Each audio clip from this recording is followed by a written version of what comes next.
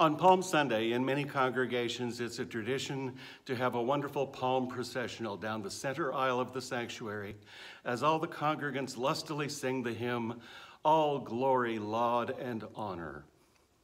Unfortunately, that is a tradition that can't be kept in a lot of congregations this particular year, but we can still enjoy this wonderful tune. The great French organist Alexandre Guilmant wrote an improvisation on this tune for organ, and I've taken a portion of it and adapted it for piano to play for you today.